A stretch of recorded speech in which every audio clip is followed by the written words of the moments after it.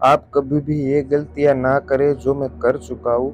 आपको मैं बताऊँगा कि step by step planted tank में किस तरह से आप अच्छे से प्लांट ग्रो भी कर सकते हो और अपनी फ़िश को भी हेल्दी रख सकते हो। फ़िश भी हेल्दी रहेगी, आपका पूरा एक्वेरियम भी पूरा हेल्दी रहेगा। इसलिए आप मेरी चैनल को सब्सक्राइब भी कीजिए और बेल आइकन पे ऑन भी कर दीजिए ताकि कोई भी मैं आपको वीडियो दूँ तो आप पहले देख सकते हो और आपके प्लांटेड टैंक को हेल्दी भी रख सकते हो।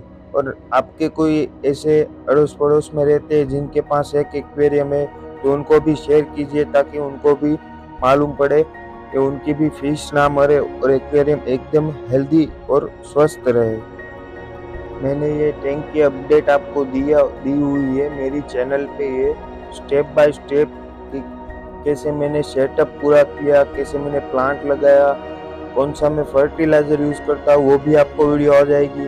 कौन सा मैंने इसमें बैक्टीरिया डाला हुआ है, वो भी आपको पूरी डिटेल में वीडियो दी हुई है। और भी आगे इसकी वीडियो आती रहेगी, इसलिए मैं आपको बोल रहा हूँ कि आप सब्सक्राइब कर लीजिए, ताकि आपको स्टेप बाय स्टेप मालूम भी पड़े और आपकी फ़ीस भी मरेगी नहीं, आपको वो भी फेस झेलना नहीं रहेगा।